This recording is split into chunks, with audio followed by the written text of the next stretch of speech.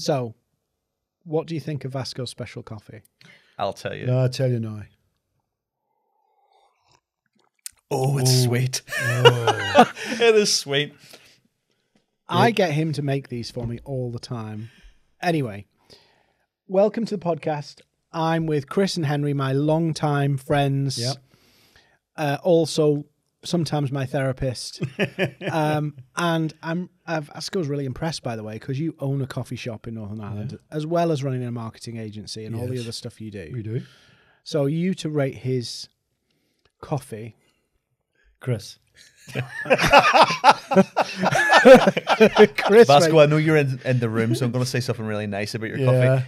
It's sweet, just like your personality. It's absolutely stunning. so just so you're aware, It's he sweet has like your wife's kiss.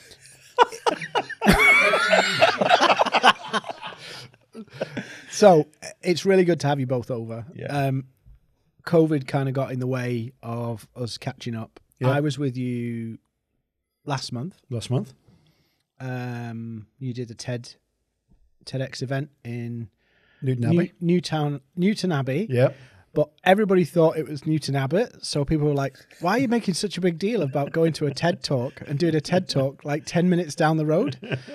And I was like, and then somebody said, hopefully there's nobody from Newton Abbot listening to this, but why would anybody want to do a TEDx event in Newton Abbot? All right, no, no, it's a nice place in Northern Ireland. So nice to have you here. Yep. Um, curious, 2023, so much doom and gloom. What are you guys thinking about 2023? Well, we actually were chatting about this prior to Christmas because it's it's like the doom and gloom is part of our history. 2008, um, we experienced it probably like yourselves, but because mine we was 2018. 2018.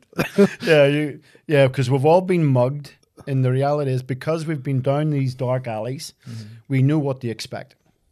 And, and we want to pass that experience on to the business owners that we are actually hmm. dealing with on a day to day basis. And we have said a few things to them be consistent, but be aggressive in 20 and 23. Mm-hmm. Because the reality is, you know, if you if you go to ground, to probably to ground you will go.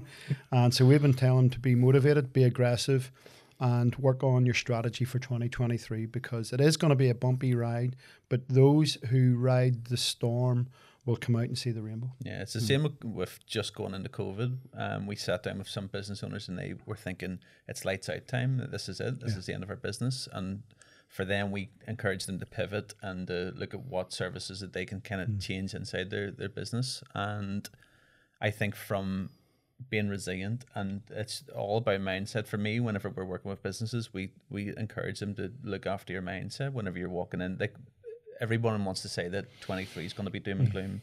You have to be cutting back costs watching your energy watching mm. your your staff costs and things like that. And for us it's about your mindset and looking for opportunities. And for me going into 23 i'm super excited about all the opportunities that Yeah. we can mm. see. And uh, some of the advances, even what we were chatting about earlier with with AI, some of the things that are on the horizon for every business, not just our business as marketers, but for every business, there's so much that you can do. Mm. I just reminded Chris as we were walking into the studio, you were following me behind, turning off the heaters. Yeah, it. so we're, we're dialing on the energy costs. when when, when we- we have an, an old building now which has fires, oil heating. In fact, with two system, two oil heating systems, and uh, we're like the old man going around turning switches off. built before the Titanic was built, so the, this thing has no cavity walls. It is the coldest building. and the ceiling in there, when I was over there, the ceiling is incredible. And it and I walked in and I was like, this looks like a ceiling off the Titanic. Yeah, literally the the craftsmen that built the Titanic built part of our our agency. So Yeah. it's it's a fantastic building to work in, but it is so cold in winter. And speaking of the coffee shop, is it above water? Do you see what I did there? yeah, well, the, I, I, it is. It was a lifelong dream. It was Henry and myself have been working for twenty seven years together. Mm. Probably the last fifteen, it's been a, almost like the conversation that we had every single coffee shop we went to meet clients in. We would say we could do this. We could have a, an agency with a coffee shop underneath. How cool would it be? How amazing would it be? And we're six, seven months into Yeah. having the, the coffee shop, and it, it has taken up so much mind time and so much energy to, to get it to where it is. But we are starting to see the, the light at the end of the tunnel Yeah. and see that we can actually make a, a really good go of it. And it complements so much of what we do as an agency because we're that kind of like niche. It's kind of handy having a, co- a coffee shop with a marketing department, basically, isn't it? Very much so. And some of our rooms, we've obviously got a, a studio like the, the the one you have here, but it's it's leaning itself to so many other things. Obviously, we, we are very blessed of how we work the coffee shop, but now we're seeing we're doing training sessions for mobile phones, and we're looking to do some niche network events, marketing events, and the, the building allows the sh- the way the, the building's shaped um, is allowing us to do things we've never ever done before.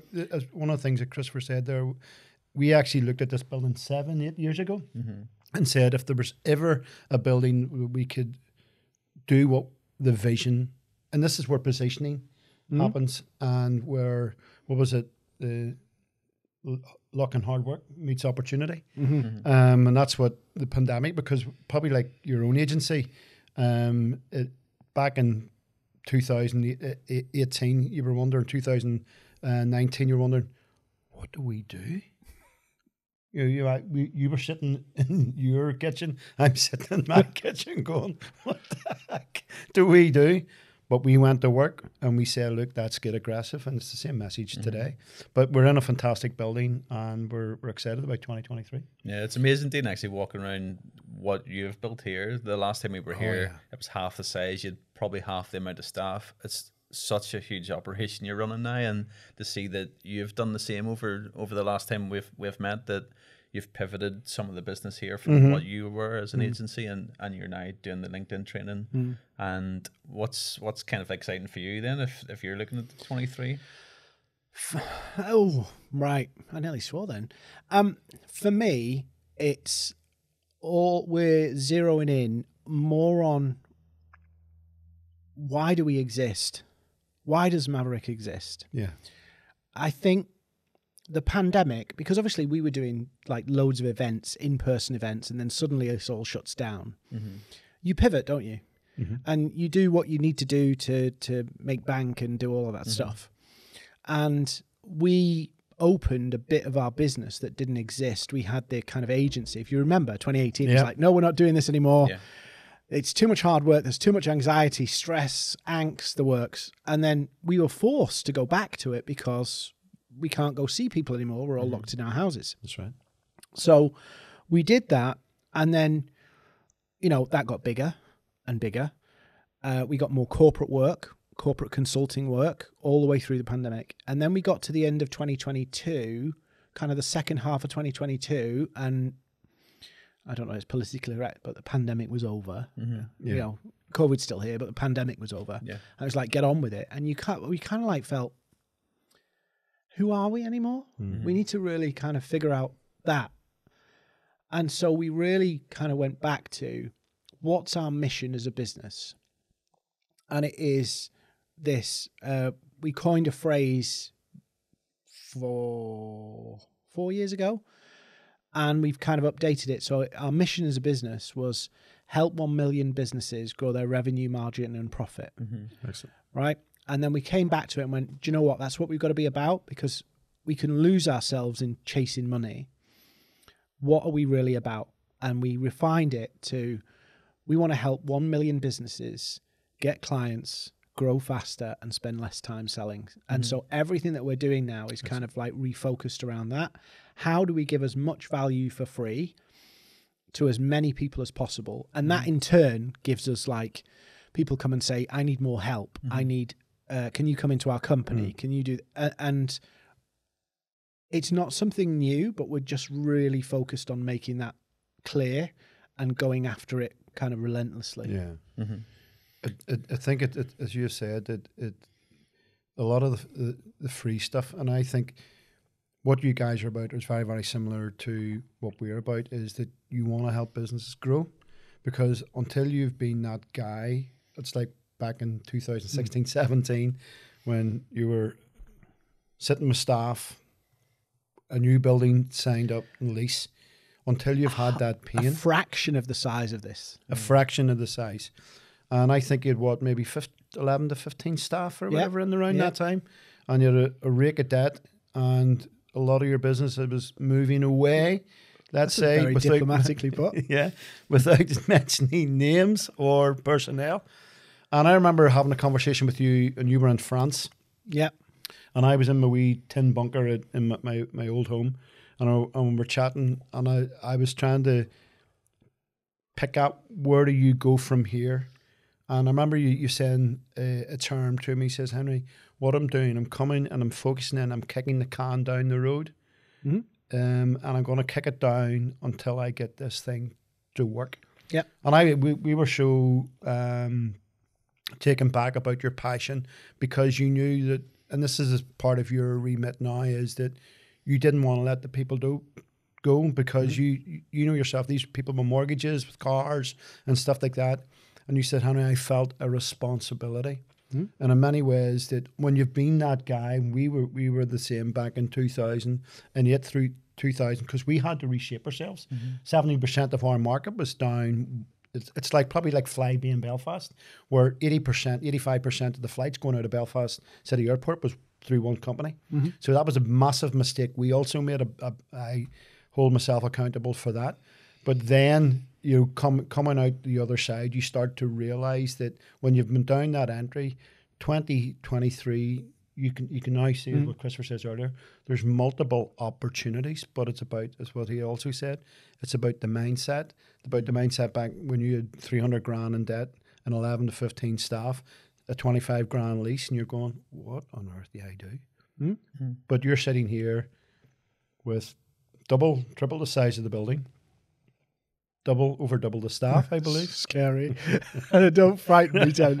Friday comes at the same time every week, um, and everybody needs to be paid. And but that teaches you something. But I think organically, and we've tried to do this, is we're trying to bring businesses as well, because we don't see ourselves just as build business builders for other people. We want to build people because they, like ourselves, you have a family, we have families, and until you've felt that um, hot air on your face, and you're going, we need to fight tooth and nail, and that's taught us a lot when we are actually negotiating with our own clients. We want to take them. What tell us what the next two or three, five years look like, and let us help you get there. You know, um, what's interesting about what you say there is like, I think there is this tendency that when things are going well, we kind of take our foot off the gas. gas. Yeah, And you know, we we all know because we're in the marketing world that pretty much all of your marketing has a lag. Yeah. So whatever you're doing right now is going to pay off somewhere, Somewhere. down the road. yeah, And so if you're Mr. Solopreneur or Miss Solopreneur, um, you kind of like go, I'm really busy. This is great. You get your head into the work and then suddenly you complete all the work and go, now I need new clients. You've kind of burnt through your marketing time. that's right. And when you talked about kicking it down the road, I was like, I know that this is, despite my struggle to educate other people, that this lag thing exists, Yeah. and and you're reaping what you sowed, whether it's a month ago, three months ago, whatever it is. Everybody wants to reap and sow on the same day, but we know that's not how it works. But when I was in that conversation in France, I just had that news about the bank account. Hmm. So business split was happening. Business partner rang the bank and said, "I don't want to be on this," and the bank just froze the account two days hmm. before hmm. payday. Whether it was malicious incompetence on the bank, you don't know. So I'm in France talking to you, and I'm like, I just need to buy time That's right. to market myself, get myself into a position, and, and everything straightens itself out. But I need the time. So that was the kind of jiggery pokery s- phase that you had to go through. But when I was doing that, I was like, I've got to go nuts on LinkedIn. Yeah. I've got to go nuts on all marketing on all fronts to kind of, you know, that analogy of, um, is it a frog or something in cream or milk or what? What is it? You know, Churn, Yeah. butter. yeah, you have to Yeah, do some stuff to get things going. But then I knew, I said, if I don't want to be in this place again, I have to l- run like that. Mm. And I've had people come in here, and it is crazy, and it does occupy a lot of my life, Yeah. but I'm doing stuff every single day. And somebody said to me, they they run a ten a ten million pound business in London, similar staff count to us, obviously way more revenue than mm-hmm. us. Mm-hmm. Um, and they said, You're doing more marketing than us. Mm. Uh, and he said, You're massively over marketing. Why don't you ease back? And I was like, No. Because we're never going to have the problem of, oh, crunch time. Mm-hmm. Yeah. And I, I determined myself, I made a decision to myself, we will always market more than we need for longer than we need. So we don't have that pinch point ever again. Yeah. Do you think companies get that? What we have had companies who have came on from zero, went to hero, loads of orders, doing really well, and then felt, oh, well, we've kind of peaked and we've got all the maximum done it now. exposure, and dropped us, disappeared, and we we go like, you're busy now, but you mightn't be busy in six months' time or nine months' time, and kind of all our market and kind of like it, it ebbs past the part where they leave us, and then it kind of dissipates over time. And then you look at maybe that same company maybe a year later, and you see the uh, you can actually see the tangible difference that Yeah. they were maybe getting so many uh, post likes or, or comments or engagement, and they've dropped off the face of the planet. And it's the same with their their actual business as well. Their business declines as well. And for me, it's that kind of mindset is that people feel that yes, you get busy and you have these huge big peaks, but it's it's what you're doing in the background and what you're building the whole time. And if you're not doing that, it's the same even for our own business. Is that every time I scroll through like LinkedIn or TikTok, you're there. I see your face all the time now, so which is impressive. it actually is impressive. And I, I scroll down, and I go, why is, is this guy finding all this time to publish on all these these Yeah. channels? And I get it. You're probably repurposing like maybe some of these Yeah. podcast posts as- as well, and you're clever with maybe some of your your previous content and recycling Yeah. as well. But for me, it's the the conscious effort to be present, to turn up every day, Yeah. to be consistent, and not to fall off the face of the planet is so important. And, and you know what? I started my, I restarted my Instagram. You, you'll know my longer history mm-hmm. and the previous, if you can call it an industry, but the previous industry I was in. So a lot of my audience pre Maverrik mm-hmm. was totally irrelevant. Mm. So I've had this Instagram, mm-hmm. I've had Twitter for like ever, and now I switch from a very niche industry Yeah. um, to something that's more widely known. And so I've got followers on there that are totally irrelevant to me. And I'm like, so I restart my Instagram uh, from scratch. It's really hard to get go. You like to make anything work. You have to th- throw an inordinate amount of energy in Yeah, till it catches, and then it's suddenly like, oh, this is easy now. Well, it's not. You've broke the back of it. You've broke Yeah. the back of the hurdle. Now the work starts. But I started my Instagram from scratch, and people go, "Hmm, um, seems a lot of work, Dean, for for not a lot there compared to your Yeah. LinkedIn." It's like, yeah, but just watch this Instagram in three, four years' time. yeah. And I'm thinking now about LinkedIn's there, great, but I'm now spending a time on YouTube, Mm-hmm.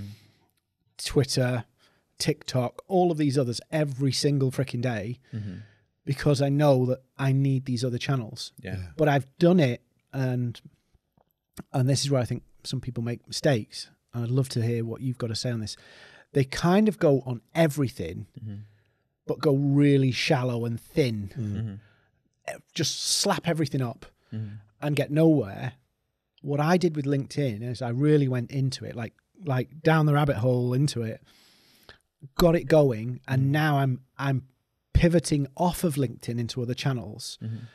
And I think a lot of people don't get that if you go that deep on a channel, you can actually make it really perform. Like like mm-hmm. multi-million revenue or from organic social media on just using one channel, mm-hmm. and they spread themselves too thin. What do you reckon? Well, for us, an example would be our coffee shop that we knew the coffee shops thrive from TikTok and Instagram. They're probably the two kind of the, the, the hip kind of channels to Yeah. use.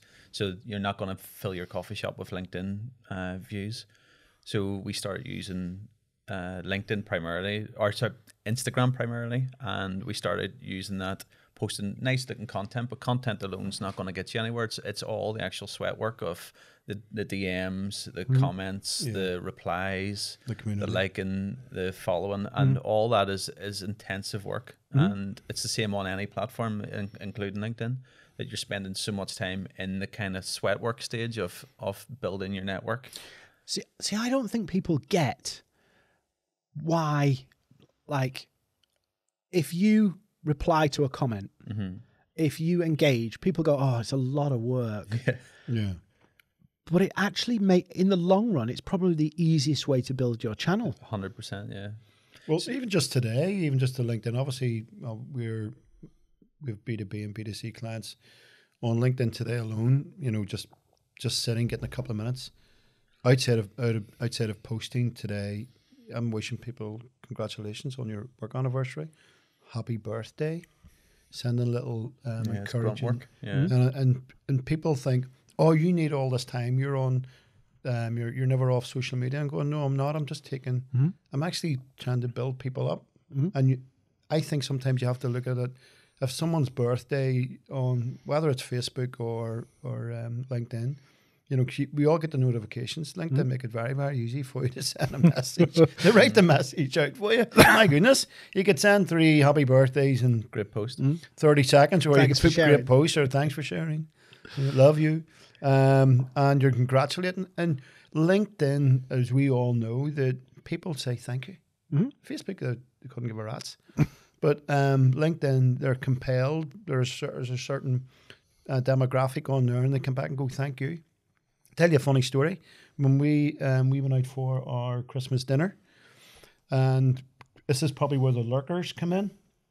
And um, Is this the fight you broke up, or is this something no, this is the, both the fight and Our the Christmas dinners back in Ireland are pretty Yeah. I, I went into the cloth here in Belfast. But the boys, I was meeting the boys down, and I went down a wee bit early, um, just to get a couple of minutes to myself, um, thinking I was going to have a, a quiet drink in in a, at Christmas time. Go figure. And this guy went to the bar, and this guy said to me, I know you. Me, do you? It's, you're on LinkedIn. Stephen, here's me notes, Henry. Henry McCrory. So that was okay. so, Stephen's and I'm close. going, had a fantastic conversation. I love what you guys are doing. Who's your uh, your business partner now? He says, Christopher. That's right, Christopher. He knew us. And it was great conversation, 10 or 15 minutes. He was a wee bit rightly, um, but that was okay. So we went out for the night, went to the merchant, finished the night off the merchant. I goes out to get a taxi home, standing um, two guys fighting, handbags throwing each other over the taxi cab. I broke the fight up. Come on, boys, we've had a great night. Knock it in the head. Please go home, go home, go home. The guy looks at me says, I know you from LinkedIn.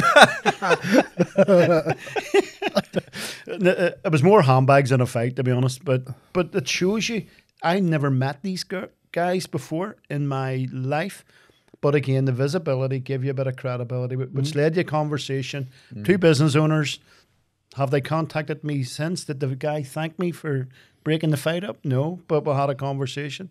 And these are the things that people don't see, but mm-hmm. that's through this network. work. See, I was in, I was over with you for the TED thing. Yeah.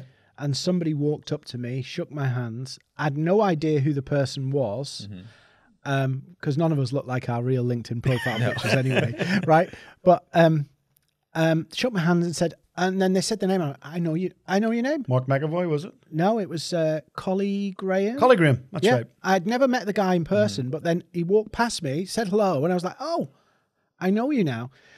And I think I think that bit of social media is is missing because we don't see an instant kind of like response or That's it. instant return.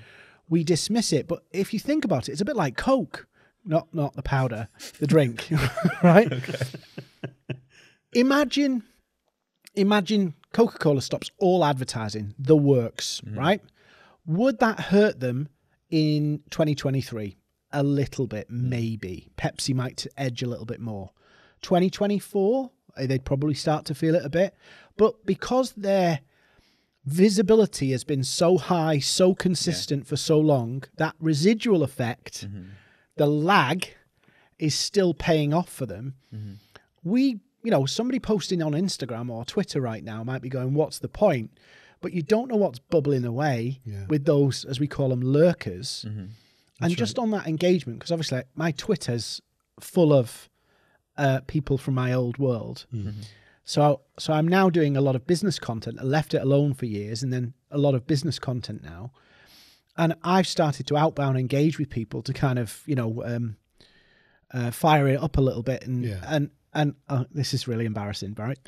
I did a tweet, and and it's getting better now. But my first tweet after starting it again properly, like consistently, I got 24 impressions, right? How'd that feel? it- um, if that happened to me on LinkedIn, I'd be on a ledge. right? 24. Yeah. Started to outbound engage with like four or five people and not big accounts, just people with like 200 followers and whatever. Mm-hmm. I'm getting 54, 64, 200, 500 mm-hmm. because some of those people are almost coming back and liking my stuff almost out of appreciation mm-hmm. for me putting in time with them. And I guess that's what you did to get your Instagram going for the coffee shop, right? Mm-hmm. Yeah, and for us, it's. I, I actually remember the early days before we'd even opened a coffee shop. We were posting every single day, and I actually had a comment from mm. someone saying, "Stop posting every day. Why are you it." posting updates about your coffee shop that it's not open?" And I knew uh, because it's a long game, you have to post every mm-hmm. single day, turn up, be consistent. And today again, we'll, we'll post more content again. And I know that if we turn that off, our coffee shop is driven not not completely by social media, but a lot of people travel to us from other places because of the social, and the remark on it all the time that it's it's good and it's strong, and the creative's nice and it's it's, it's as good as any other coffee shop would be. But, but because of the because of the the traffic and the traction that we have, it brings people in and we can rely on that. But the minute I stop that and, and we turn that off and, and we Yeah. stop doing it, so we're not Coca Cola, so mm-hmm. our Your- your decimation is residual going to be a lot quicker. Yeah. Yeah. I suppose if if Maverrik stopped mm-hmm. doing what it was doing, that that kind of effect would drop mm-hmm. much faster than say Coke, who's got years of this in the behind them. Yeah. So we, we have um, maybe five different coffee shops in the same town that we're in, and maybe one or two of them post maybe once a week, maybe maybe twice a week at, at best. Maybe whenever they see that maybe their com- competitors doing better than them, and uh, for us, we would want everyone in the in the town to be posting as much as we are because it will bring more traffic and it'll be the ultimate kind of like heart that we would have for the town, but the minute that we stop, we would be very much like those other coffee shops. That they're all offering coffee. They're all doing the exact same mm-hmm. service. They've maybe nice, friendly staff there, and they've nice food. And there's not really a, a huge big difference between what we're doing and what they're doing, other than that we're, Top we're of visible mind. and we're turning up. Yeah. Yeah. You're you're more top of mind. Yeah, well, that's it. And just in light of what you're saying there, just about about Twitter, and I think a lot of guys don't probably realize this either. There's different bait for different platforms. Mm-hmm. Mm-hmm. You know, there's different personalities, different uh, social groupings, and depending on what your offering is, sometimes I think people forget you have to tweak it a wee bit here mm-hmm. and there for Yeah. the audience, um, because not everybody's going to. Not, not everybody's going to on LinkedIn is going to you're not going to use the same bait for and say Instagram and stuff like that because the guys had put up a lovely story there the other day for a father and son he's our, actually our chef and uh, actually Vasco made a, a, comment about the beautiful images and that's what I think a lot of times what we need to really take on board is that the different different bait for different platforms will catch different fish. Um, and that's something we obviously I think is very very important in regards to the different platforms. Yeah, so talking about different platforms, here's a question for you. So I I was sitting beside my daughter the other day in Right. in the house, and she was scrolling down through TikTok because they're TikTok, they're kids, and I heard your voice on her phone, and I went, "That sounds like Dean Seddon." And I looked over and I says, "Who's that?" And she went, "That's Dean." And I says. How are you following Dean? And then I was trying to work out: is it the algorithm knows that I'm her dad and Yeah. she's connected and it's throwing your content up and she's maybe followed you? And it, it blew my mind that she was turning that you were turning up on her phone. Do you know? Do you know what? I think anybody who t- who knows or tells you they know how TikTok works is lying. it's a black art. I've got this video, right? Mm-hmm. It's still going now. I've got 1.5 million views, 77,000 shares, Unreal. right? It's ballistic. I get comments every single day. It's been going for about a month and a half, Hmm. right? Just ballistic. What's it about? It has to be said. It's about, actually, it's about how people think that your credentials, your knowledge will mm-hmm. get you business or will get you opportunity. It's very often it's not the knowledge, it's the way you present it, it's who you are, it's what mm-hmm. you're about. So it's very personal brandy. And I, I I say your personality will get you further than your intellect, right? Yeah, that's, that's it. and the amount of people who've commented saying tell mark zuckerberg that right but he has obviously convinced people that he had an answer mm-hmm.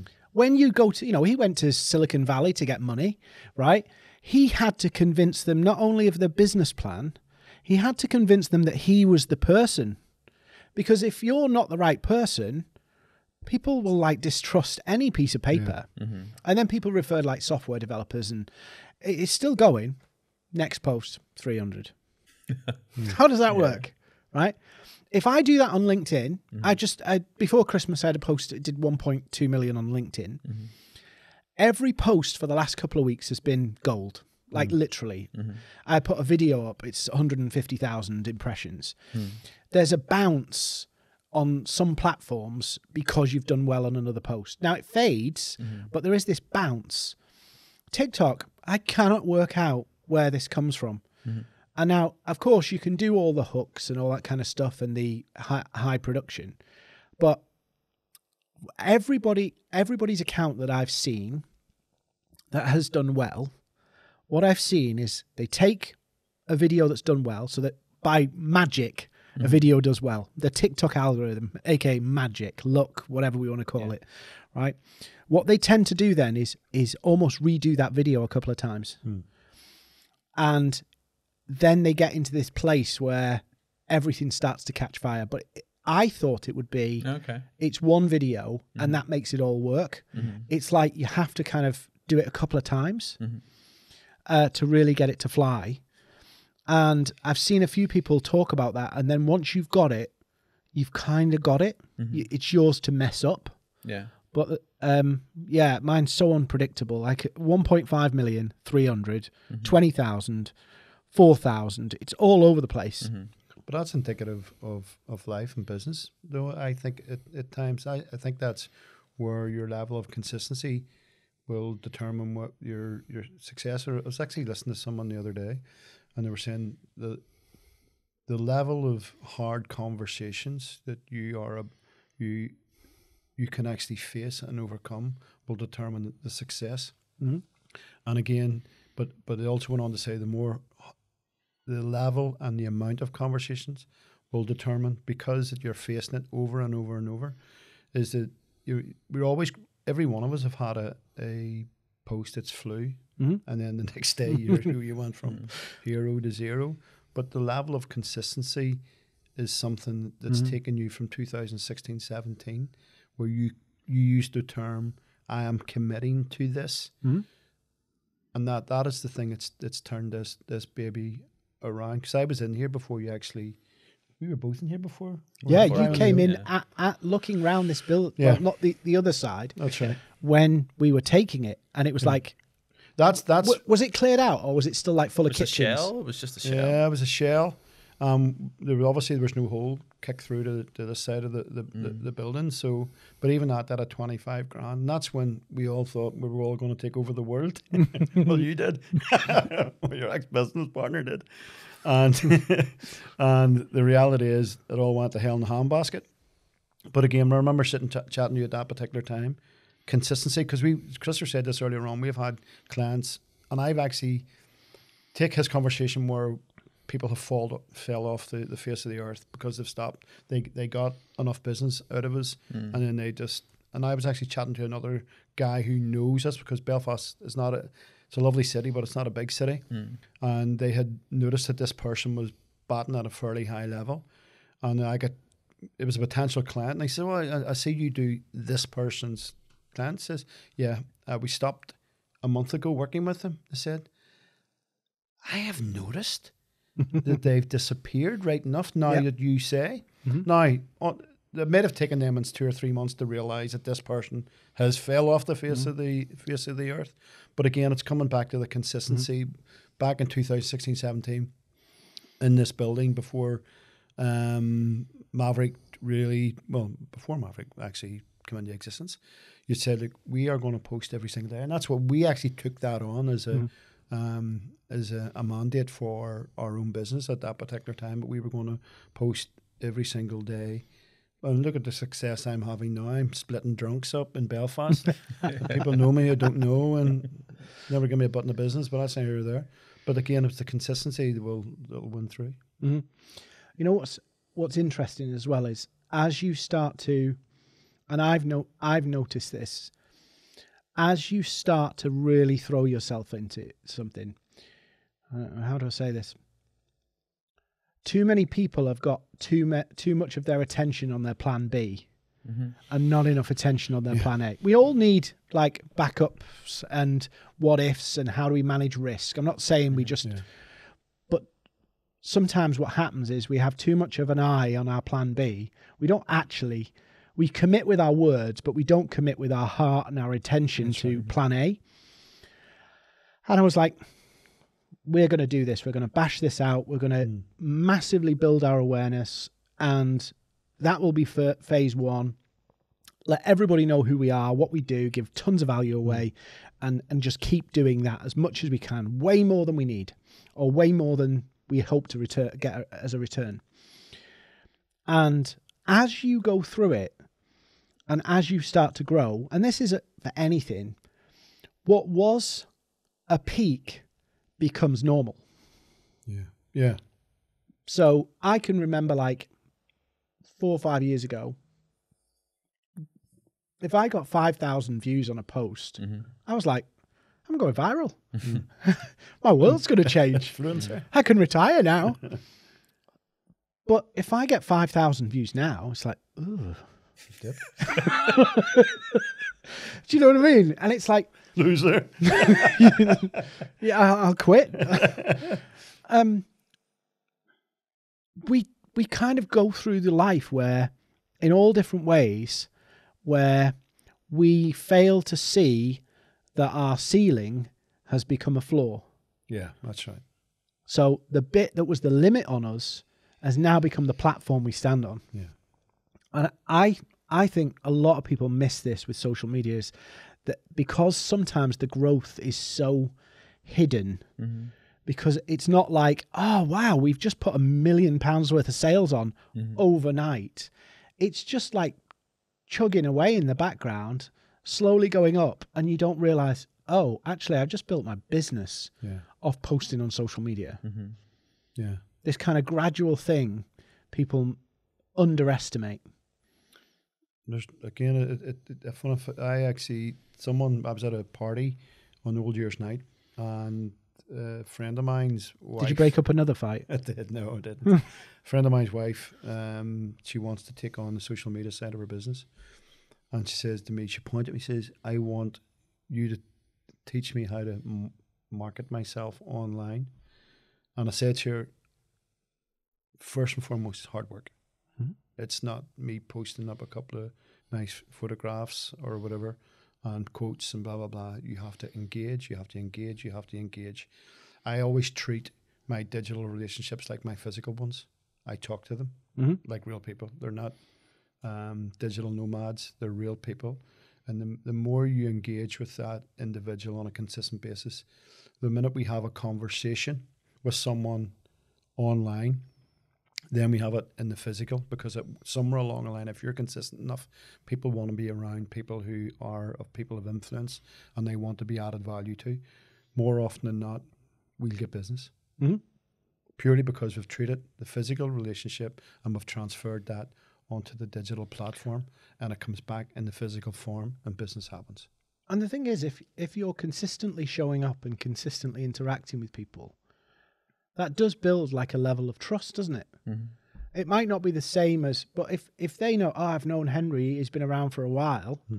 It's different to you getting like a message from a complete stranger saying, "Hey, do you need mm-hmm. this?" Yeah.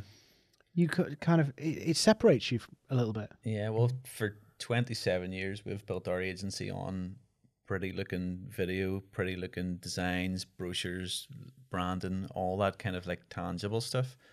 And we've always felt that's what's going to get people sales. That's what's going to drive uh, footfall through businesses.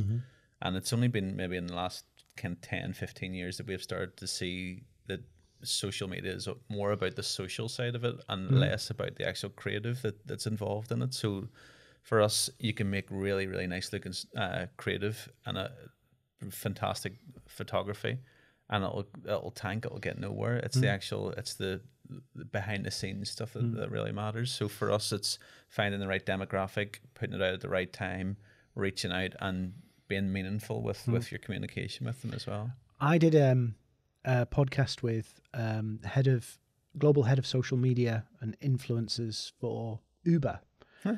uh, a couple of weeks back.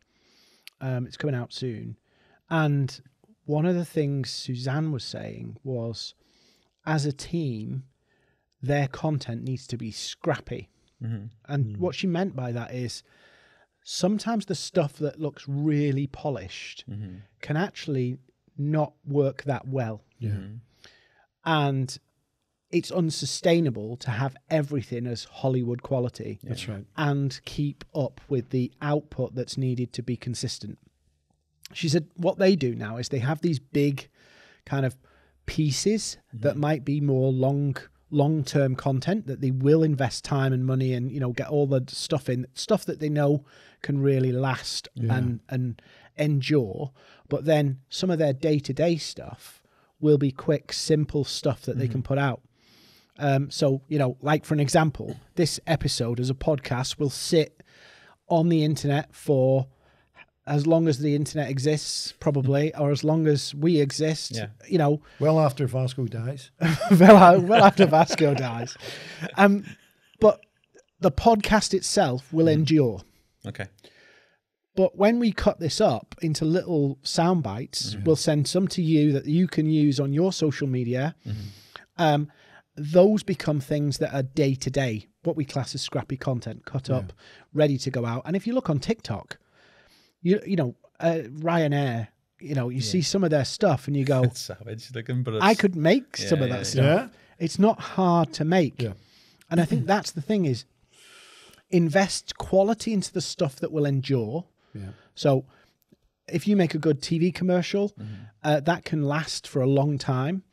But if you need stuff day to day, I'm not saying it has to it ca- kind of amateurish, but it has to be a volume thing. You Well, so many agencies now are doing UGC for they actually have a department that's it's made to look like it's made by other users. And for for me that's that's actually something that we're very interested in producing now. So for years we looked at how do we get the best cameras, how do we get the best lenses, the best editing software, the the best designers and make things look as polished as we can make them. And now we're thinking, well, how do we bring other people in that can make user generated content that, that actually looks authentic and, and real and this crappy stuff actually can perform way way way better Definitely, we would always say because we would we would uh, post content up for our clients three times a week.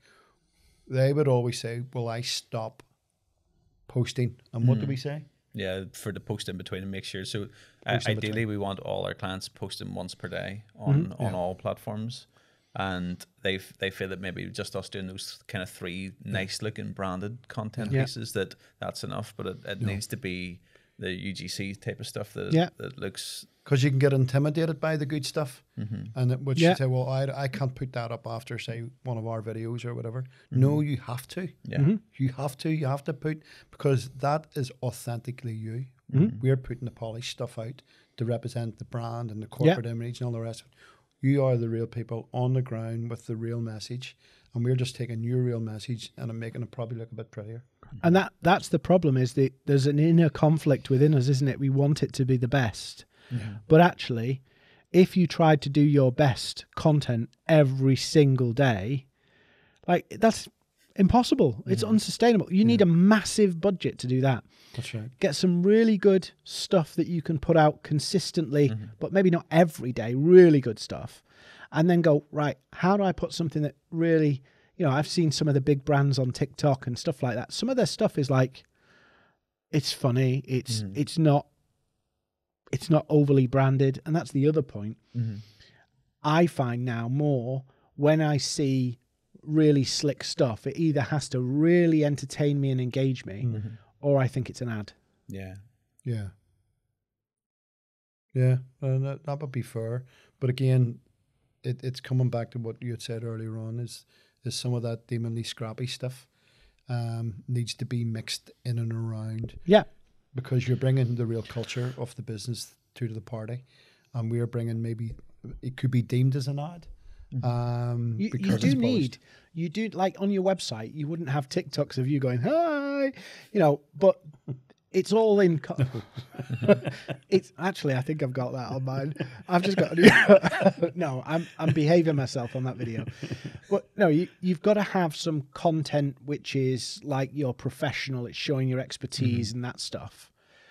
But actually, your day to day social media, day to day social media content needs to be stuff that you can easily put mm-hmm. out. Mm. Yeah, so like maybe on LinkedIn with your featured videos, they're the maybe the Yeah. more polished stuff, but then on your day to days, the behind the scenes inside a studio or A- And I say to people, you should have at least, you know, one out of five posts should be overtly promotional. Mm-hmm. No more, because then you turn it into like a marketing propagandist. Yeah. But you are going to put some effort into that one mm-hmm. promotional post where it's like it's slick, it's well presented. Why? Because you want to give people confidence to buy something. That's right. Mm-hmm.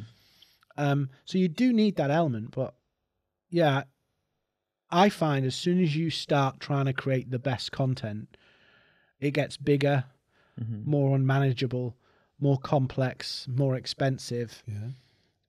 So And- there is a balance to strike mm-hmm. between having that volume of output and not quality, maybe production quality. Yeah. Is that the right word? for- I'm good with that, yeah. production quality, not quality of the the, the content itself, what's in it, but maybe this is Hollywood and mm-hmm. this is like Yeah. Pinewood or whatever.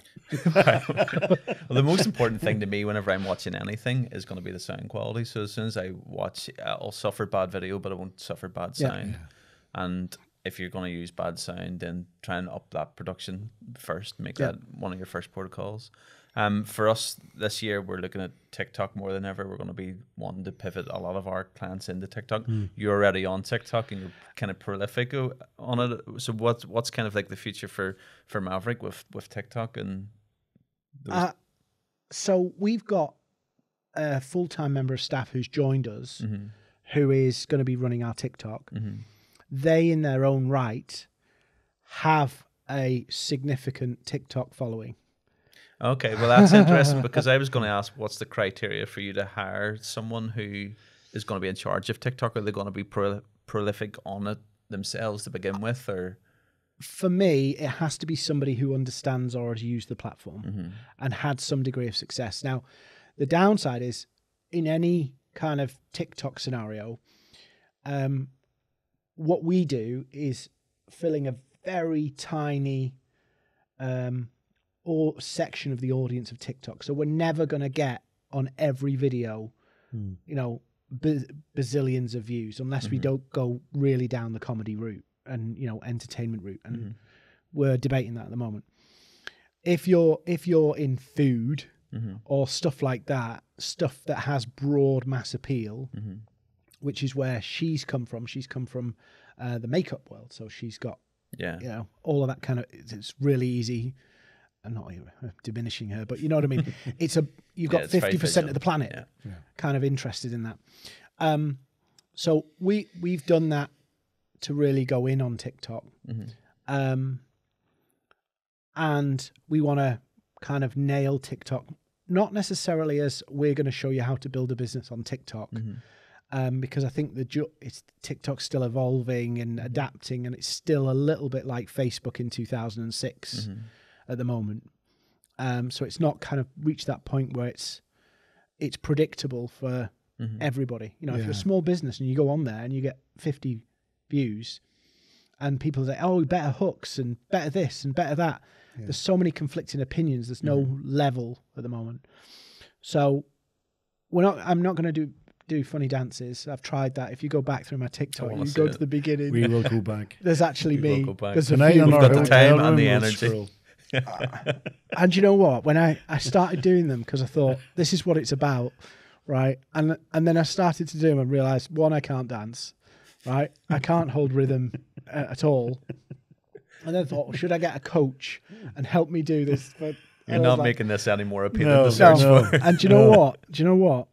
I come to the conclusion if if TikTok's all about dancing, I'm not doing it. And I came dropped off it, and then I went. Do you know what? I'm just gonna I'm just gonna put videos up of little bits of tips and Mm. things like that. Do they get? Am I happy with where I'm getting views? The consistency of the views? Not really. But um, do you know what is really weird? Right.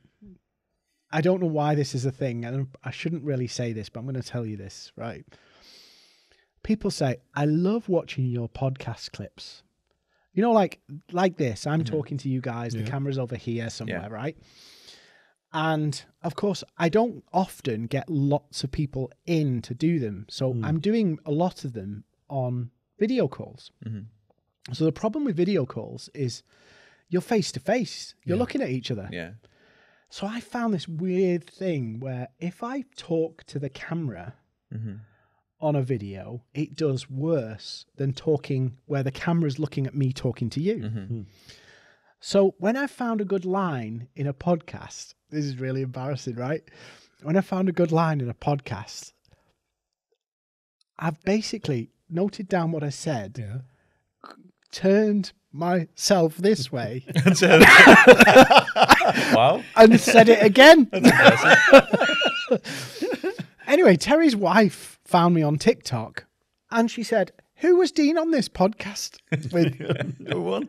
Empty it's a really good idea what he's just said then. And I thought, thanks, Terry's wife, for watching my TikToks. I hope she liked, commented, and saved. Um, but then Terry went, he's talking to nobody. That's impressive. And you know commitment. what? Loads of people do that. So why do you think that is? Why do you th- is it eye contact because maybe so many people film content themselves with a phone looking at themselves? And maybe we're fatigued with that, or do you think it's because it looks a bit more intriguing? That who's he talking to? What's going on? See, I don't know, but when I look at, I get a lot of people talking straight to camera, mm-hmm. and um, and I watch them. So mm-hmm. maybe I'm the wrong person to answer this, but I think it's inherently more interesting for people if they go, "Oh, what's he talking? Who's he talking to?" Mm-hmm. Do you know what I mean? I'm looking in on it You're being interviewed, and kind of thing. So that's why I think it works so mm-hmm. well, and I see it on YouTube Shorts as well. Mm-hmm. And um, I don't know whether it's like a an Andrew Tate thing that's pioneered this. Mm-hmm. Like he's not looking at camera. Get the big glasses. Talk like this. No, I don't want to go to jail. Is he in? What yeah, you don't yeah, know what? Back, back, Is he back in? I didn't know. I heard he was out. He's not out, is he? No, he got out for a day or something like that. So I bet you'll never order pizza on a podcast in future, will you? Um, have you seen the reviews, by the way, of that? The, what the pizza? the, the, that's right. So if you you know how he he was doing this whole uh, rant at Greta Yes. and the back and forth. Well, in the video where he's doing the response video, these pizzas get delivered. Yeah, yeah, yeah. Yeah. And that's what hoo- hooked yeah, him. Yeah. yeah. But if you go to the pizza company's um, Google reviews, right? It must be. The reviews like um uh what was so like um this is a steal you know um this is the best pizza well worth getting arrested for yeah um can i get greta cheese on it and and this jerry's pizza is like hundreds and hundreds of reviews that are kind of like puns Yeah. for what's happened to andrew tate That's Um, cool, isn't it? I, I think it, we there's a because of we we come from a religious divide. There's times where there's certain personalities, especially sports, who are from one side or the other. I don't even look. I don't even read the article. I just go to the comments, The straight- comments are straight away. Straight away Yeah. because there's there's so much fantastic humor in Northern Ireland in regards to that stuff, and it's very similar, probably what you experienced with the Andrew Tate pizza thing. Um, straight into the comments, and honestly, I've sat and cried. But that's what social media is. I, I say this to all our classes is that social media primarily is to entertain people. They're they're on it to entertain themselves. They're not on it to be sold to. They're not on it and to w- learn. We're not on it with our full brain capacity either. No. No. It's like You're standing in a queue in Tesco's. You're on the toilet probably. You're in the train. You're not driving, and Yes, I'm sure we've all had it when you're in the toilet that bit, bit longer, and somebody would shout, "Henry, are you on LinkedIn?" because you don't want to be. Because when we when we um, were in, in relationship with you guys early doors, it was it was a real hard slog to come up with content because you you want to post every single day, but and but- when you went home um, that night, you were either like and share and comment and blah blah blah, and it became a real burden for my wife. Where she says you on LinkedIn says Henry, I'm gonna. There's three people in our on our marriage, so I started to disappear to the toilet. he types with one thumb, so it's like these single clicks. oh Oh, it's crazy. It's absolutely crazy, but yeah, there yeah. you go. I mean, a lot of people take social media. Uh, business is an important and serious thing, yeah, but a lot of people take themselves way too seriously Yeah. On social media. Um, you know, I I I I don't have many spats on social media, and I try to avoid mm-hmm. spats because you never know where that's going to re-emerge. And we have this like thing right now where people look for your past mm-hmm. comments oh, and past interactions. And the problem with that is that we can all out each other for mistakes we've made and stuff we've done in the past. Mm-hmm. That's just the way it works. So somebody finding something I said two years ago and then they they end up getting outed because of something they said two years ago. It's mm-hmm. just like we're but I think one of the things that's really fun is when you know I had a nasty troll the other day, and I I thought I'll turn it into something interesting, so I mm-hmm. did a post about it. I'd never name names because I was like, yeah, you never know what other people are going to do as a result of that, mm-hmm. and then you end up where, God forbid, somebody gets beat up or something like that, and you feel like responsible for it. Or you know, I saw, I don't know whether you saw this, um, a couple in Plymouth. I don't know exactly what went on, but their business went under during COVID, and there was like a pylon on social media. Stuff like that is kind of like not nice because you never know where it's going to go. But anyway, um, one of the great things about when you get like a a negative person, but maybe not a troll kind of thing, mm-hmm. not like really vicious, mm. but negative, is if you're nice to them. Vasco's a pro at this, by the way.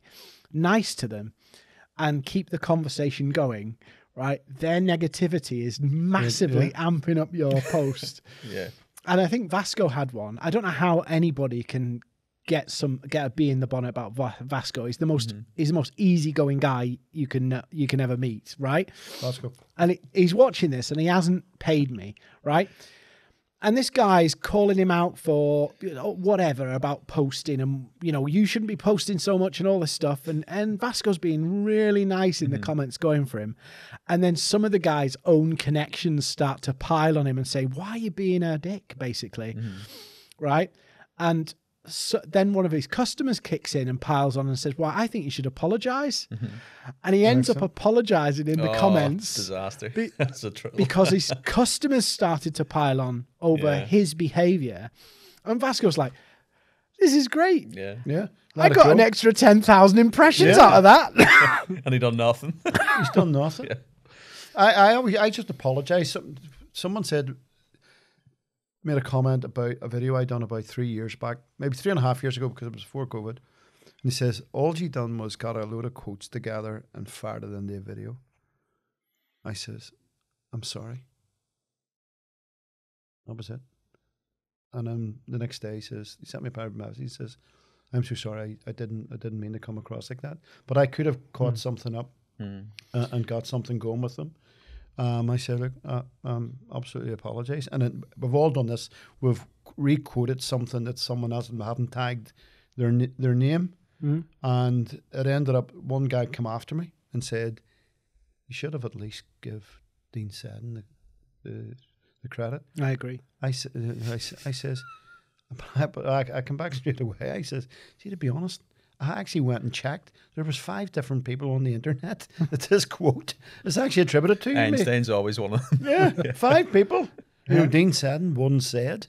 You know, uh, and I, and they said, "Oh, you've caused me to doubt myself now." Mm-hmm. But again, mm. it's like the it's what Vasco probably done. You just out of them with love. Love mm. wins. Mm-hmm. What's your policy on that though? Are you a, a lover or do you like to kind of light the He's fire a bit stir. more? Yeah, Yeah, pot stir. Like I'll so if it comes for me, mm-hmm. I I'll if I've done something wrong or if I've stepped out of line, I'm not going to kind of deny it or bounce it. yeah, mm-hmm. Um, if somebody's just taking pot shots, yeah.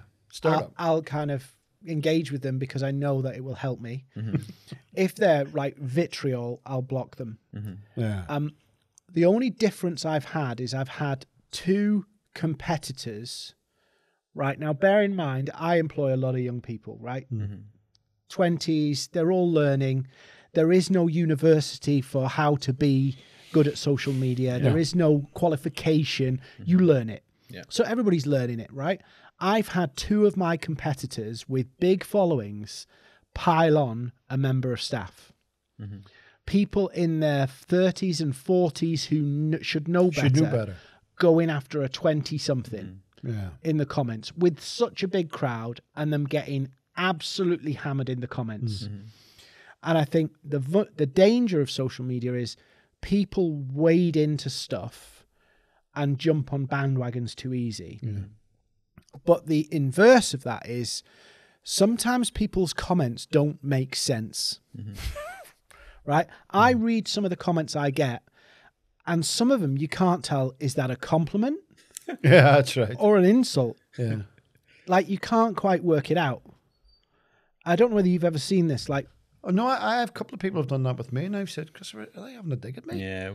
Yeah. We hmm. we always say write copy with angry eyes that read it and read it from someone who's angry because there's going to be someone online that's Yeah. going to read it in an angry way. and and the problem is once somebody's angry, like if you and, and I find this really hard, particularly when you. Um, so I'll ask, well, how do you mean? Mm-hmm. If I think it's kind of like I'm not sure, or they could, how do you mean? I'll mm-hmm. get them to explain. One because I get another comment, but two, I can second guess myself as uh, Yeah, is 'cause you that got wrong, yeah, actually yeah. Yeah, right. Negative or is that just me reading it wrong? Mm-hmm.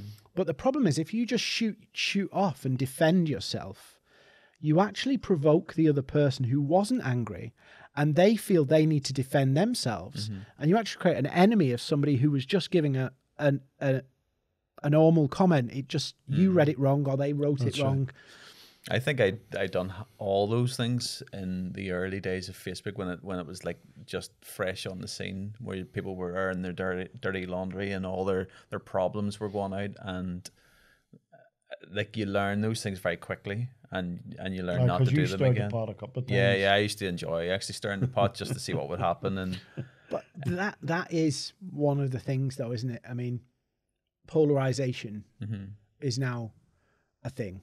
Hmm. Your, your Andrew Tates, hmm. you know, those kind of things. They polarize people into camps, Yeah. and it is a really. In fact, one of the people who came after one of our members of staff um, was all in that camp, mm-hmm. and it was like, just give them a break. They're just trying to do their job. They're trying mm-hmm. to do a good mm-hmm. job. They're just that's all they're trying to do. If they make mistakes, they make mistakes. It's, it's- that's life, right? But Bill, the problem with polarization is it only ends one way. Whether it's you going on social media calling people out or mm-hmm. uh, mocking things or whatever, it only ends one way. You look at Donald Trump, right? He got elected. Mm-hmm. I'm gonna get we're gonna get in so much trouble with this, right? He got elected by being brutally and polarizingly honest, yeah. right? Mm-hmm. Politicians, whether you agree with Donald Trump's politics or not, is irrelevant for this. I'm just talking about his campaigning style, marketing style, mm-hmm. right? So he's brutally honest about what he thinks, calls out other people, attacks people, makes jokes about other people. Some of them funny, some of them not. You've got to admit he has some pretty, he has had some good comebacks, right? Mm-hmm. But he polarizes people. So he's mm-hmm. got some die-hard people who will back him no matter what he says or does. And that then you got some other people who absolutely hate him. Mm-hmm. And he got a lot of media attention. They reckon $2 billion worth of media attention for free because of him stirring up controversy and everybody going, Oh, I've got to see this. Mm-hmm. Like what we call it in a car crash? Rubbernecking. Yeah, Yeah. yeah. Yeah. Loads of people rubbernecking at what he's doing, and the media did it. And this is a tactic on social media to kind of create these kind of, and you see the pop, the comments, and there's always the GIF of somebody eating popcorn. You know what I mean? yeah, yeah, I love this. But it only only ends up one way. Yeah, Yeah. that's You right. end up banned yeah. mm-hmm. That's interesting. because you have to raise the game Until All the time. the line. to keep people engaged because it's like, oh yeah, that's not as good as the last one. So you always right. need something more controversial to say to keep you in the limelight until eventually you cross a line that gets you. And I know a couple of people who've gone that way and they don't exist on LinkedIn anymore Yeah. That's- or they don't exist on um, well anybody can get on Twitter now, but they don't exist on Facebook. They're gone because they crossed the line by pushing it pushing it too far. So one of our clients has contacted us over the Christmas break while we were off, and he says, "See on all all social media content that we do, Turn off. content uh, on comments. I don't want anyone commenting." And we we know that this is not going to help his his outreach and his engagement. So we we tried to talk him back into it. and says like, leave it on. It's it's a really positive thing to to have this happening, and because he was more kind of wary of what that's going to look like for his Mm-hmm. customers and for other people looking at the comments going up on his post. He said, "No, like just take it off." And we we knew that like this this isn't going to help him. It's that actually not going to help us market him either. That taking them off is going to be a bad thing. But what what would you do if if a client came to you and said, "Like take all my comments off, disable everything, all the interactions, just Oh. post your creative." You're basically you're basically saying I only want admirers, admirers. I don't want a discussion. I just want people to love me. Yeah.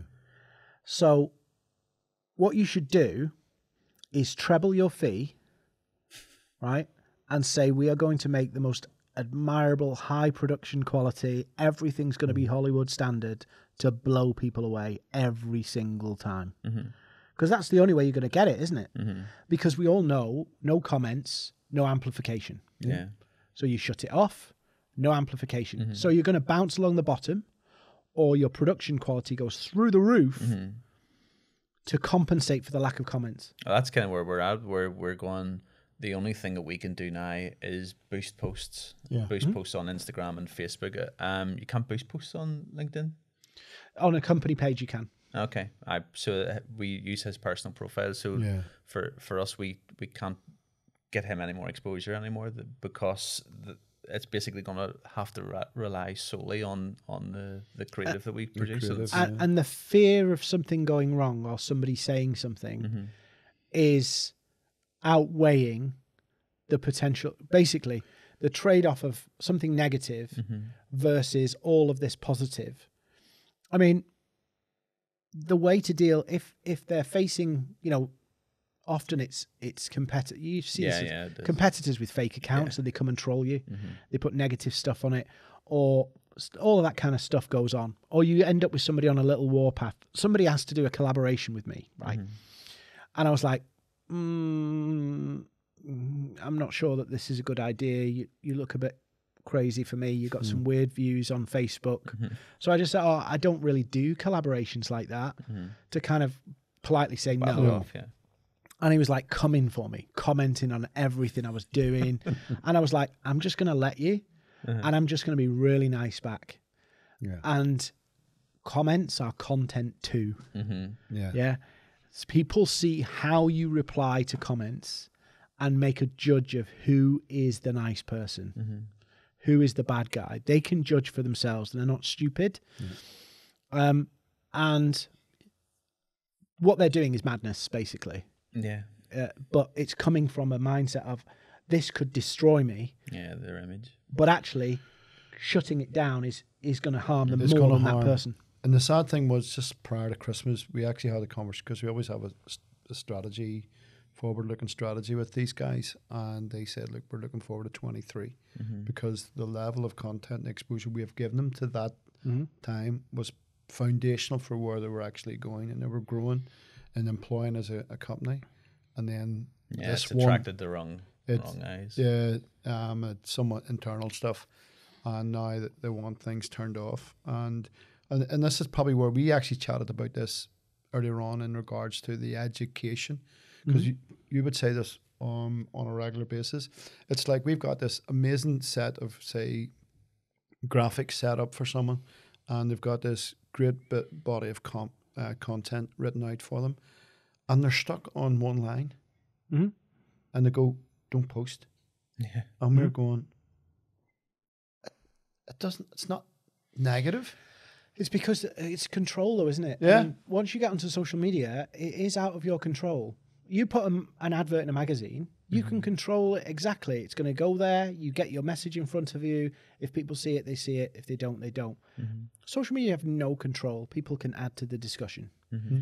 and it's that control of well, it's got to be just perfect. It's got to be just Yeah. perfect, and and but it gets back to what we were talking about earlier on about the that the, the, the not so good co- content where we've got the mixture of the corporate stuff that we would do and, and the authentic is our what our clients would do and i'm looking i'm reading this and going this is not in any shape or form negative controversial they're just stuck on one line and hmm. going get the thing out yeah, get the thing out and stop being anal about this one line, which actually means nothing to anything hmm. other than you just don't like that one line. imperfect action. Yeah. Yeah. and everybody wants perfect action. Yeah. And the problem is, unless you have a huge team, you cannot take huge team, huge budget. Yeah. You cannot take perfect action every time. Mm-hmm. If you think about it, if you pontificate over one social media post, if you spend any longer than an hour debating it, Mm-hmm. I mean, how much is that costing? How much is that one post costing? Mm-hmm. If you're sat there arguing over a word, it's just nuts. It's nuts. Another guy, we uh, this guy, we actually came. We had this guy on for eighteen months, and the war in Ukraine actually came. He went away to France, come back, and um, he went, "Oh, I, I need to stop posting." We actually started working with him. We done a video, and for me, it was a, a family-run business, fantastic business. The guy structured business, brilliant. Done this whole take from starting the business out, family out, giving leaflets out. It was uh, bring tear to a glass eye. And he phoned me and he says, Henry, I'm knocked over. This is absolutely amazing. This was two o'clock. And one Friday afternoon. I said, uh, Well, let's get it out. Yeah, yeah. Then he sent it to his parents. And he phoned me at 10 to 5. He says, Henry, take that post down. Why? You, you told me you were crying at the kitchen table about the journey of wife with your daughter who now hmm. works for you, blah, blah, blah, and blah, blah, blah. He says, I mean, why? He says, my mum said I, I looked nervous. Yeah, that was enough for him to take That was down enough. the post. Oh. Cancel a series of videos that we had shot with him that day as Now, well. Yeah. the, the, the, the good thing in the story, he came back and apologised Yeah. a month later when I got it out. But I had it sit down and say, nearly said his name. I, no, you, he says, no, I know I was wrong. He says, I, I- I was new to the game. I overthought it. I pontificated, as you mm-hmm. said, about this one thing. And it was all about hand movement. And I, I, I, I, I says, you have to come back to what you experienced when you watched the video. That's how y- your audience would have looked at it the same way. Family Yeah. run, started from a borrowed laptop, blah blah blah. He says, "No, see it now." And after that, the guy, Yeah, the guy flew. very- very So lovely. I'll tell you a story. This is a Vasco story, but it's funny. We were creating a load of content for a consultant, and um, they'd been bouncing along the bottom on LinkedIn, 50 views and all mm. this kind of stuff, and no traction whatsoever. And we started writing the content, making it more human, mm. simplifying all that fun stuff that we do. And Vasco is the king of getting traction quickly on on sm- mm-hmm. on accounts. He knows how to write news mm. copy and news posts and stuff to really like make something rock. And so what we said is, given you've got a small account, you know, we know how we know how the thing works. You've got to kind of get some traction to get more Yeah. traction. So mm-hmm. one of the things Vasco will do is he'll, he'll say, let's curate some news out there, get people debating and talking with you. So when you put your promotional or business centric copy, mm-hmm. the next day you're going to carry a bit of that crowd, and it'll make it a bit easier to get going. So Vasco starts putting into this. Oh, I like this news story. Great, Vasco. Let's get it out. So goes out. Vasco checks on it, see how it's doing. Ten thousand views. Nice. Right. This oh. guy's got like seven hundred connections. Right. Mm-hmm. So this is like Vasco. This guy's gonna love you. Vasco goes back on to check it. A mm-hmm. few hours later, the post's gone. Oh, ah, I did. We've it's had that. Sign. We, yeah, Oh, we, ah, we've we've had rat. that. We've He had that. deleted it. And Vasco says, Why did you delete it? It's too much. It's too much. It's too much. Couldn't deal with the fame. And it's like, isn't this what you want? No, no, no. It's too much. It's too much. It's too much. That's a nice complaint to have. But I've- sometimes people's thought process like trips them up, doesn't it? Mm. It's like, It's we we we're getting better at having this trust conversation with guys. You've seen her stuff. Yeah. You know what we're about. In fact, we actually have just taken a, a client on that was on with us a few years back, and um, they're back on. They, they wanted fun stuff. We done fun stuff. We don't like the fun stuff. We want corporate stuff. But you employed us to do the fun stuff. Yeah, but we really want the fun stuff. But you keep knocking it. You keep bouncing it, the fun stuff. Can you make it a wee bit more corporate? Let me sure you don't want the fun stuff. No, no. Yes, I want the fun stuff, but make it corporate. what they want, Henry, is they want the results of the fun stuff with corporate. well, that's what we've Yeah, learned. we're trying to we're, we're trying to work it out. years in. We're we're learning that It's- now. That Uh, go but they know what they want. They know that Yeah. that's what's working. But then whenever they see it, that they're working on huge big projects and they want to retain that very corporate. Corporate. Trust us. You're you're safe in our hands. We're not jumping around the office with kites and No. dogs and things. No, It's I, I use this where I was working with a startup and, and they had that same dilemma, and I said, so what you really want is you want a chocolate cake, you want a chocolate cake, but the primary ingredient you want it to be strawberries. that's it. Uh, and That's it, it. And it is that kind of like weirdness of I want I want this, but I want that. We we we sat with a client a few years back, and um, we said, "Look, we really want to go a wacky video." Okay, you sure? Because you, this company had like 120 staff and blah blah blah. Says, "Yeah." So they sent us a storyboard. Mhm. Said, you sure you want to do this? Yeah, I want to do it. I want to do it. So that's okay. And we had, went down, had an absolute fun day. Yeah. And the guy says, "Let's make this look like lunatics." And we had to pull remember, it again. remember, we had to, had to pull it. But remember, he says, "No, I know." But here's me. No, there's no buts. Mhm. When you do this, do that, and do that, and you pull that together as one edit, Mhm. that's lunatics. Said, "I told you this." He says, "No, no, you did." I says, "Look, there's a Oh, process." to this." but it's always your fault. Just remember, right? Yeah, because they go Yeah, and get maybe an one. audit done and the, uh, from another agency, and they'll come back and say your content needs to be more fun. the, the audit Yeah. any agency going on in to uh, audit somebody else's a- agency work is where can we find the shit stuff Yeah. so we can mm. call them out because that's our opportunity in mm-hmm. basically. So it doesn't matter same with consultancy right? It doesn't matter w- what great stuff you've done mm-hmm. agency coming in will be looking for all the mistakes or the bits That's the right. missed opportunities because that's their opportunity to make money from the client mm-hmm. And I don't think people get this that they look at, oh, hang on a minute, what's. And we've just had something like this. It's really funny. So we've been working with the company for about 18 months, right? Plodding away, doing the thing that we do, helping them get the content on LinkedIn, helping them get sales from LinkedIn, all of this stuff. It's been going great. Mm-hmm. PO comes to an end for the year, the contract for the year. Well, we've been reviewing it. The content impressions aren't where we want them to be. Our brand message didn't come through, all this kind of stuff. So we're not renewing for next year. I was like, what?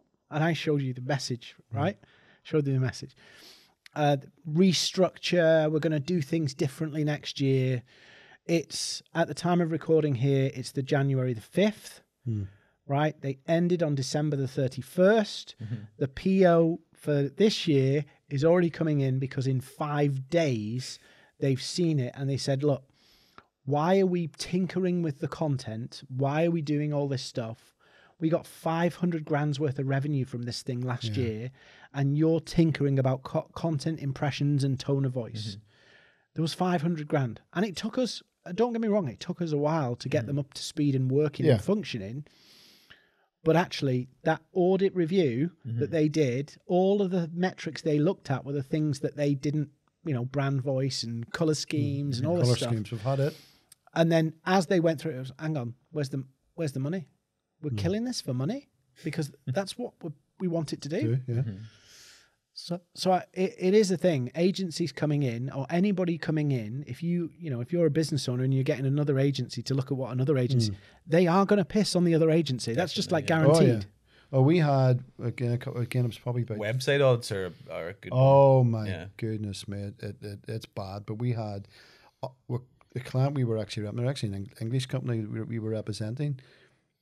The the guys who done their brand complained to the company about our content and demanded a meeting with us that we were ruining their brand. Yeah, because not their ruining tone of your voice brand, had changed brand. from uh, very kind of like formal to a bit more fun and They want us playful, to- and, and the Flip the brand around a bit. yeah, and and, and I and it was an HR person who called this meeting, by the way. And I and I remember sitting there and going, "This is bonkers." I said, "What? Why are we having this meeting?" She says, "You're tinkering with our brand." I said, "It's not your brand; it's their brand." I said, "You're offended because we're we have a, we were asked on on a strategy to mm. work this model. Why are we here?" She says, well, I, want to, I just wanted to share our concerns. Here's me. Thank you. Your concerns are noted. Can we all move on now, please? You know, I, I I might upset Chris now being the creative here. I sometimes think that a lot of this brand work that happens effectively tells you what you can't do anymore. Mm-hmm. Yeah. It becomes a prison. Yeah. Um, the amount of times, like tone of voice, right? Let's just be honest, right? It's so subjective That's right. Mm-hmm. right? What mood am I in? What, wh- how do I feel about it? Right? It's so flipping for mm-hmm. subjective. Like we want a confident but witty tone. Okay, and and uh, what's the rules for that? Well, actually, there's no rules. Mm-hmm. It's just confident and witty. Or we like to feel energetic in our words. Mm-hmm. Yeah, that's right. So it's all subjective. Of course, there's you know some degree of like if you go all monotonic and all that kind of stuff. Mm-hmm. But a lot of this stuff is just made up. It really is Oh, just I would made agree up. with that. Like uh, I've done branding for the last twenty seven years, and whenever it comes round to handing over a corporate ID, fifty to eighty percent of it is made up just because we feel we have to. That to put in negative space usage, um, minimum font sizes, and we put all those things in just because we feel this is important. That this is what a client wants to see. And funny enough, we were talking to Vasco on the way down when he picked us up from the airport, and he was telling us how how unimportant stuff like that is really to the end client that they don't really care about how thick their book is with their corporate ID or their strategy document at the end of it if it's three inches thick it's where you're bringing them after that and the mm. journey that you're bringing them on after that And if you look at things like social media, right? You can have like color palettes, mm. where the logo's supposed to be, font sizes, all this kind of stuff. The problem is everything looks the same. yeah They do it because we want to project brand, Here's our brand. package, Everybody yeah. sees it. It's mm-hmm. consistent. All logical things. But then you get to social media, and you go, "Why does everything look the same?" Mm-hmm. And That's you think, "Oh, that's a good thing." No, no, mm-hmm. it's not. It's terrible not. because what happens is people think they've seen it before. yeah it's fatigue It is. It is. And, and we've said, look, and this is probably where the education and the time of that conversation need to be brave. We say, how precious are you with the brand? Can we tinker and maybe reverse some of the mm-hmm. um the, the colours or the palette colors mm-hmm. that, that you have that allows us and you could hear the exorcist music going oh hey, oh because they're, they're sitting looking at going to me you have to be brave because, as Christopher said, after a month, people will go, "Oh, love your content." Two months they're going, "Yeah, it's really good." Three months they're going, "That's very same." Mm-hmm. No, we told you that at, the, mm-hmm. at the very start. People are going to get fatigued and thinking you're putting up the same imagery. They're not because we have kept it so on brand. They see the same palette colors in the same way, Yeah. with the same shapes, with the same fonts. The very reason you do these brand documents actually becomes the problem mm-hmm. Yeah, on becomes the social media because it becomes it becomes so similar. Even though the image might be different, there's a vibe you're giving off that I've seen this before. Yes, mm-hmm. That's And, right. and that can bite you in the butt. Well, yeah, well, it has, and it's bit people in the butt, and it's bit us in the butt, and that's where we've really educated ourselves and saying, look, here's what's going to happen after six weeks. You're going to look at that. As much as I've we've changed the as much as I've changed the images, much as the guys have changed the images and some of the shapes and stuff, the corporate image is going to look mm. the same. I mean, if you've got a shareholders report and you know your environmental impact and your website, that's got to look consistent. Mm-hmm. But when it's social media and and you know bits like that, it needs to be a bit different. Mm-hmm. And I think for a marketer or a designer, even it's quite it's quite hard to reconcile that because you want everything. It's it's natural to want everything to look and feel exactly the same, mm-hmm. but actually, it doesn't entertain or keep people. No, it, it definitely it definitely doesn't, and I think it, in, in light of what Chris Christopher's background now and more into the sort of media side, you have relaxed 70 80 percent to Yeah. what you. We all are precious. The first thing someone say, look, um, I, I like my logo. What do you think of my logo? Here's me. Are you precious about it? Mm. Do you want me to be honest about it? And they go, here's me. uh, Joe, we've obviously redone our site, Mm-hmm. And we had this uh, roller coaster, and I'm not sure how our graphic designers are still here because they I would have quit having to work with it because we went through this torture of like how do we make all of this line up Yeah.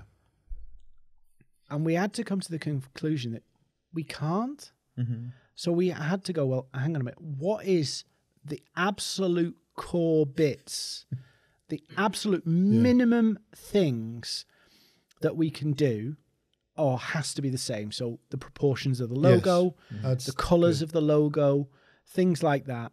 And then we picked a color palette for some things, but we said we're not going to be bound by that because social media. Like if you do a TikTok video and mm-hmm. somebody comes into work wearing blue and our colors pink, Yeah. are we not putting them on? Are we going to put them in a uniform? Yeah. Um, so there's. So we said, right, there's some just base minimum things the logo, the colors of the logos, the fonts we use, and a little bit of our not tonality but things the way we would say things and have like you know like the bowling alley just have like the the safety rails out Yeah. but Yeah. between that you can just bounce around Bounce off. Yeah, because right. it's like if if we did a proper brand stuff on TikTok or something else it, it just it just bomb It is. I, I think it's one of, one of the things I probably appreciate Christopher for. Remember the you done a Constantina? What's it, Constantina? Fold. Um, that wasn't. It was a post you done with a big fat fella on the boat. Mm-hmm. Um, and but it was completely creative three brand. Mhm. But the, the humor in it was right through it because I took some stick over because I said, "Is that you?" Um, and but again, our personality was still rolled out, Mhm. but we still retained brand identity, Mhm. but still brought a humorous uh, feel to it. And and I think you have to be brave now Mhm. because you will look the same, you will look mundane, and I think sometimes, especially from business owners, they need to maybe go push the boundary a wee bit to maybe come back and find that middle ground between security mm-hmm. and a wee bit. Well, the majority of business owners that we work with are plus 40 mm-hmm. years of age. They grew up like us without the internet. The internet didn't exist whenever we were designing back in the 90s. And our constraints to build logos and build brochures and all that was print, wasn't it? Yeah, yeah, it Yeah. a- and print Print. determined that everything looked identical, and and you, you could look at a business card and know it's the same company as Yeah. what their signage would be. So we had all that, and now that social medias came came around, those those rules can be broken up one hundred percent now. Whenever it comes to, as long as you're not running away totally and you're not making a, a mess of of the brand, but um, so many business owners that we meet who are like the plus 40 group they're used to what they grew up with that they were told that this is the, the way your your brand should be. You should have a corporate identity. You should hand that down to your marketing team and that needs rolled Yeah. out across your Rolled video and everything that you do needs to to match hmm. and that doesn't exist anymore. I, I- don't think it exists. I think even for ourselves, and you may disagree, Chris, is that even from ourselves, our own perspective, we're probably, and you you can give a, a definitive sort of seven year or eight year thing, that I think we're as a company coming to the point where we're looking to probably rebrand again at some point. Hmm.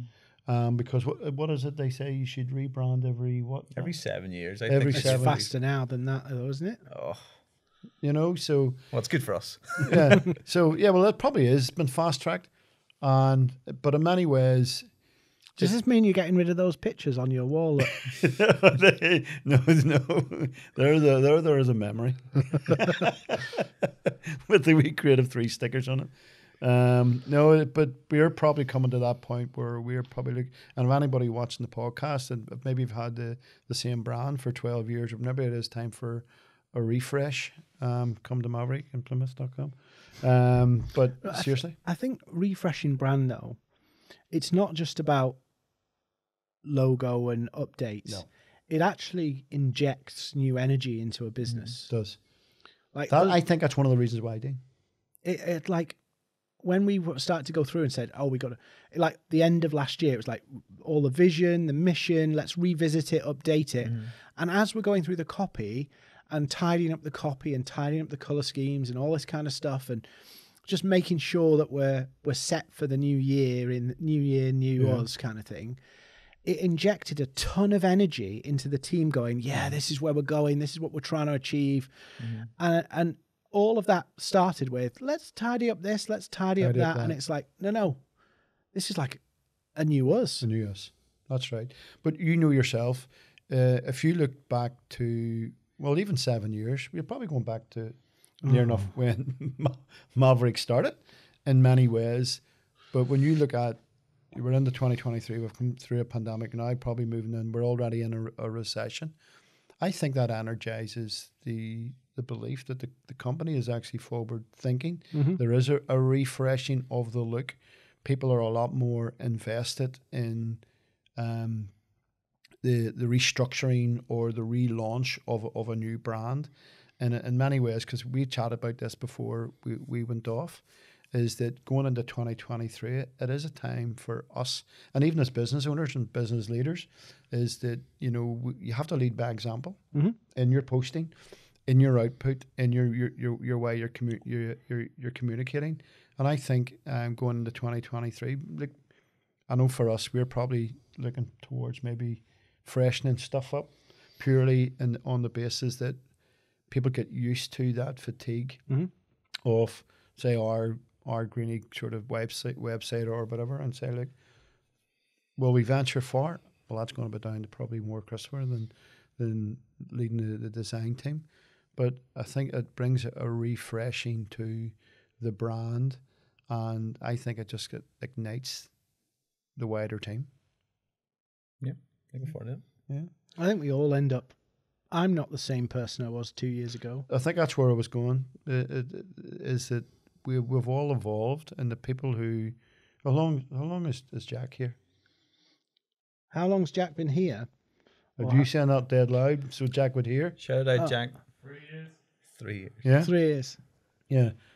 Is Jack a different person? Jack Jack started actually. I have to remember where he started now. Jack, where did you No, start? I've seen that. Jack started in our print room because we have the printing part of the business as well. He was folding and creasing leaflets at the beginning. Mm-hmm. He's now driving all our media, Yeah, but he went on a journey from that. I always start like Jack's family member So every family member has to start in the print room, right? Right to Why? passage. Because a lot of the stuff in the print room is repetitive. Yeah. You have to do the same thing. I'm Over sure you've, over. I'm sure you've had this. You started in print, right? Yeah. You your folding machine breaks down, and you have to manually fold, Fold, leaflets and stuff like that. Yeah. It it's a discipline Mm-hmm. that you learn that you have to do something over and over and over and over and Mm-hmm. over again, and it builds. It's character building, as I say. Yeah. It is, Right. Um, I've done it. I did it. My 16 year old is doing it now. My 20 year old has done it. And Jack, um, Jack's uh, the fiance, is that the right word? Yeah. Of my stepdaughter. He he's doing it. T- he did it too. Hmm. It's character building. It is, yeah. Well, like my dad, I remember him telling me a story that when he first started his very first job, they give him a huge big block of metal and they said file that down to one inch, one inch, one inch, and he sat every single day just filing this piece of hmm. metal. And he says it was the most hateful thing to do. It was a cool building, and he done it, and he filed it the whole way down. It took him about a month to file this piece of metal. and I mm. thought, there's, there's like, there's. Well, we, we don't do that anymore. Like apprentices come in, No. and it's all about what makes them feel good and, and what given give, gives them the best value from the, the day. But I think there's something massive in that actually. I have a friend. He lives in Plymouth, and he he runs a finance financial advisory firm, quite a big firm in the southwest, one of the biggest in the southwest. And I was when I first met him, um, you know, you you chat in business and stuff like that, and then we we went to a party, I think it was, at a f- what I thought was a friend of his house. And we went to this party, and I was chatting to the friend of his, and it turns out that his friend used to own the firm. So I was like, I'm not saying names because I don't know whether this story, how widely known is this story. And I was like, how did that happen? He owns the firm now, and you you used to own the firm. So when my my mate was um, in his early teens, he was in you know humble beginnings, shall we say, and he was looking for a little job. And his friend, who owned the firm back then, gave him a job, even though he wasn't qualified. He was he was straight out of school kind of thing. And for the first, I want to get this right, for the first two years, he paid him to read business books, Napoleon Hill, um, all of these, you know, great big uh, books that you you hear of, and he paid him to read the Read 'em. books. And now he owns the firm. it's amazing. He bought him out and took over the firm. It's amazing. And it's like there's something that happens to us where we have to have that level of consistency, that level of knowledge where we we level up Yeah. and we keep leveling up. Mm-hmm. And I think that's that's for me is going to be the biggest challenge is it's not what's 2023 going to bring, it's am I leveling up ready for 2023? Mm-hmm. No doubt, and I- and I think a lot of that is down to what goes into your brain by way of your reading material, and who you associate yourself with. I know for us, look, if we went home in the plane now, we're already inspired and encouraged and ready to go, purely on the basis that um, of their, our our time spent together.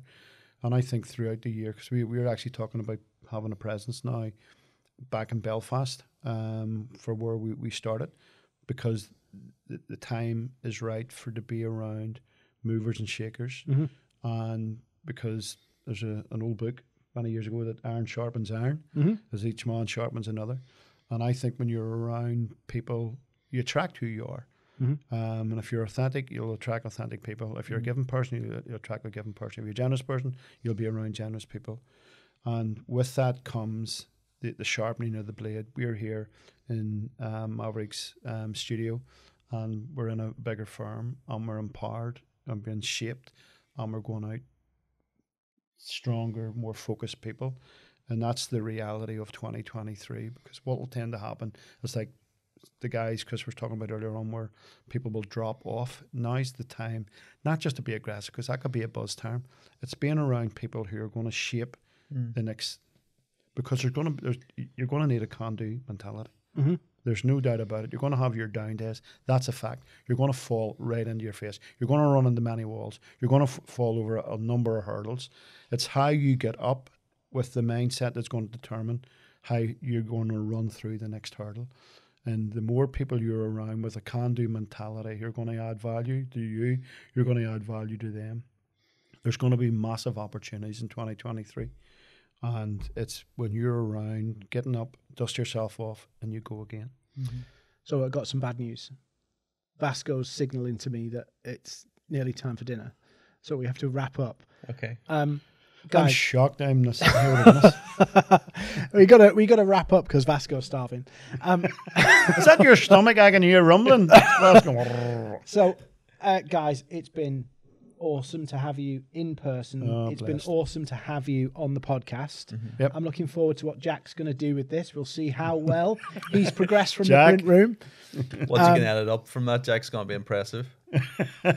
This is going to be Hollywood. if we if we hear you swearing over the next day or so, we'll know it's all to do with edits to this podcast. So, uh, guys, thank you for joining us today. Uh, thank you for uh, uh, tuning in to watch our ramblings. I'm gonna put we're gonna put your socials and everything uh, on the YouTube link and all that kind of stuff.